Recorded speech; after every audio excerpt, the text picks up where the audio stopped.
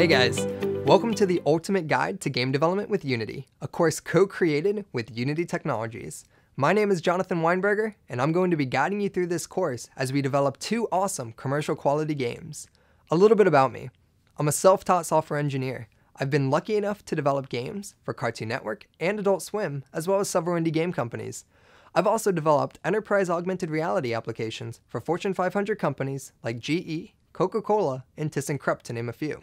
I've been working in Unity since the initial public release of version 2.6, and I've authored a book on Unity 3.x. Over the years, I've made my own video series on YouTube that helps programmers of all levels learn to code or refine their techniques. I'm so excited to be a part of this Udemy course approved by Unity, and I hope to inspire the passion I have for coding to everyone who watches this video. The topics we'll be covering throughout this course will give you the basic skill set to develop 2D and 3D games, We'll be taking a look at the fundamentals of C-sharp programming, exploring the Unity environment, working with the Unity API, and taking a look at Unity 2017's new post-processing effects.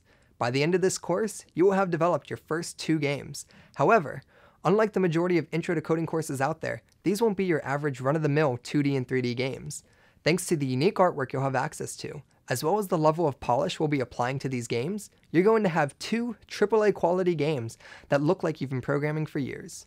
Because of the interactive nature of this course, you'll then be able to continue on and develop your own 2D and 3D games.